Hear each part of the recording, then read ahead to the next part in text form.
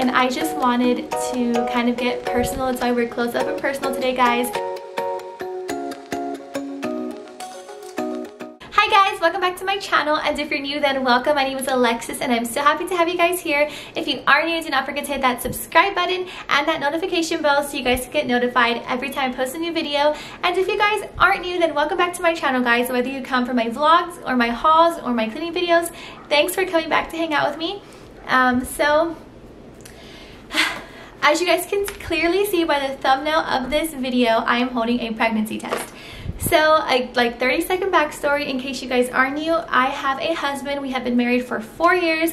We have been together for five years and we have a daughter that is three years old. So after my daughter's third birthday in July, me and my husband started talking and we kind of decided that maybe we are ready to add a second baby to our family.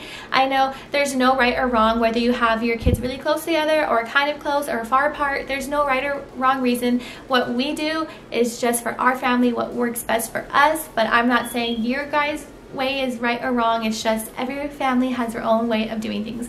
We, we waited three years and we finally decided that we were ready to start trying to conceive baby number two. That is why I'm holding a pregnancy, pregnancy test in my thumbnail. When July was our first month that we started trying to conceive and it didn't happen, but it was just the first month.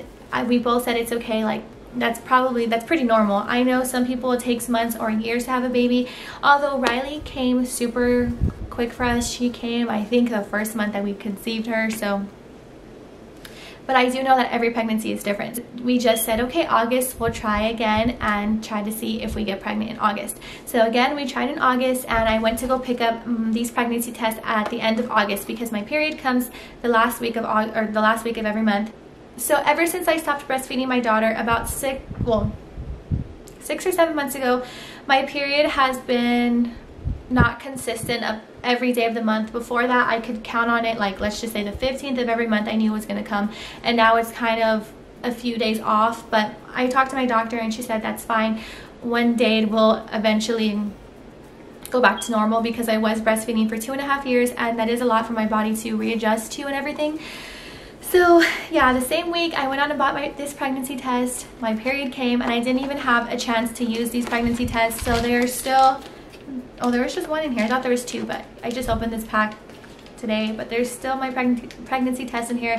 I didn't even get a chance to take it because before I knew it, my period had came and I knew I wasn't pregnant. Um, so that's two months that we have been trying to conceive for baby number two. And I just wanted to kind of get personal. That's why we're close up and personal today, guys. I don't really share a lot of our personal life. And I feel like I kind of want to start sharing more of that with you guys because you guys are like all like my friends. I've connected with so many of you guys. And I just think it'd be fun to kind of document this journey. So month number two, no pregnancy yet. I kind of just wanted to update.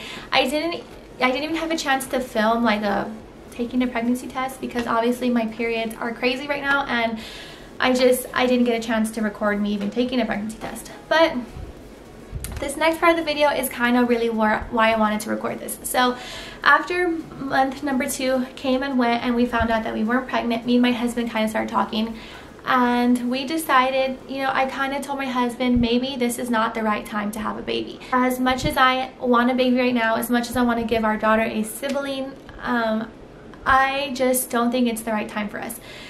And I think this, this two months kind of gave me some time to think. Like every time I knew I wasn't pregnant, I kind of thought about it a little bit more. And if, like I said, if you guys are new or if you're not, um, ever since I got pregnant with my daughter, which was 20 years old, I'm about to be 24 this month, I have been a stay-at-home mom. Even when I was pregnant, um, my pregnancy, I was like sick 24 7. It wasn't morning sickness for me. It was like around the clock sickness. And that didn't stop until like I was six months.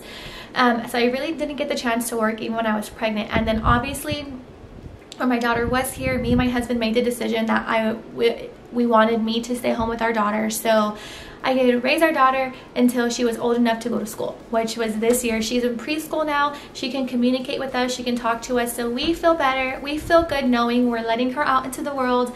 Um, knowing that when she comes back home to us in the afternoon, if anything is wrong with, if anything went wrong, she can communicate to us vocally. Now, if you guys are a working mom, I'm totally not bashing you guys. Um, we're we're just thankful we're just lucky enough that my husband is able to support us with his job and I don't have to work. That's the main reason why I stay home because we are financially stable enough for me to stay home with my daughter. But now that my daughter is off to school, guys, this is the first time in four years that I've had time to myself, time to think, and I have a chance to work now, guys. I don't know, I just finally have a chance to to work. And we were 19 and 20 when we had our daughter, and we did know we were doing when we had our daughter. So yes, technically we planned her, but we were so young back then, and I'm not saying anything if you had your kids when you were 19 and 20 that's when i had my daughter. But we re we didn't look at it realistically. We just thought we were gonna have a cute baby and she was gonna be a baby forever and i know that's a dumb way of thinking about things but i was i was dumb guys. I I didn't realize everything that it was going to take to become a parent.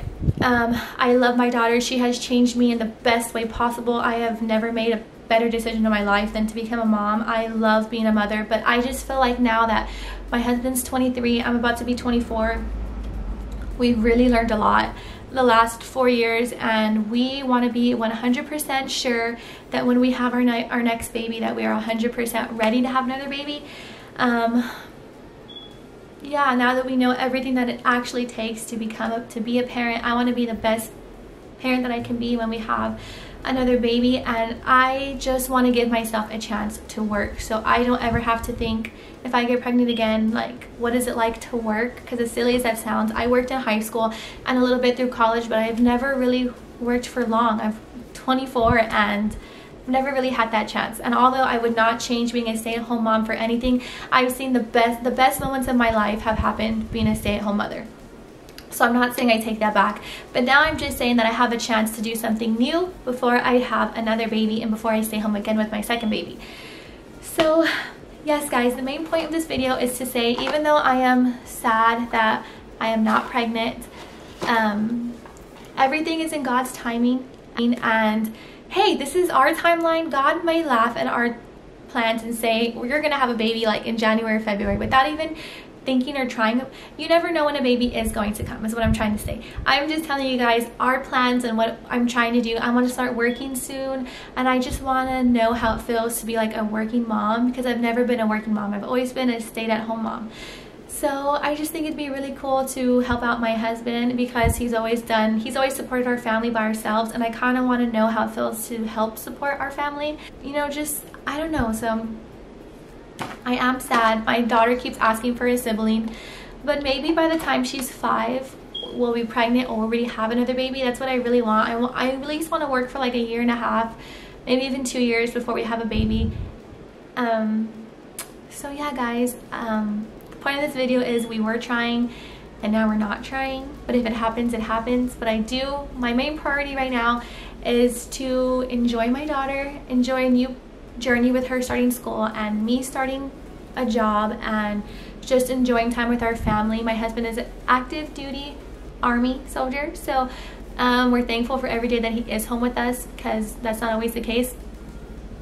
So right now I'm just focusing on enjoying our family and we're, we're so young, we're only 24 and we have our whole life ahead of us. My mom had me when she was 30. So all in God's timing, I don't want my kids like 10 years apart, but if that happens guys, then it happens and there's nothing I can do. But hopefully by the time Riley's fine, we can have another baby or at least be pregnant with another baby. But I hope you guys enjoyed this video. I hope you guys enjoyed this update. I know I haven't given an update in a while. That's why I wanted to make this video. But yeah, guys, thank you so much for watching. If you guys liked it, do not forget to like, comment, and subscribe. One more thing.